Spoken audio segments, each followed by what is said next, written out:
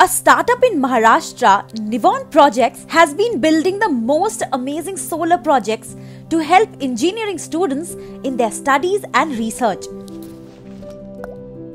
Apart from showcasing the immense potential of solar energy, these DIY innovations also solve some common problems.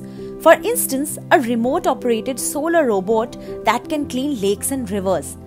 Unlike garbage on land, trash in water bodies is harder to remove Boats are time consuming, don't operate 24 hours a day, and can't get into tight bends and corners. The solution? Get a solar robot to do it. It'll save both time and energy. Nevon Projects has also built a solar seawater desalinator that can convert salty seawater into potable water within minutes.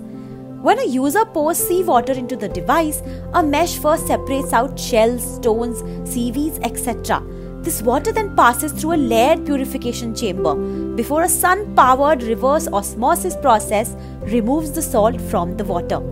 And finally, when the tap is opened by the user, the last stage of UV sterilization deactivate any microbes in the water, making it drinkable without any use of chlorine. Build a solar innovation of your own? Share it with us for a chance to get featured on the Better India.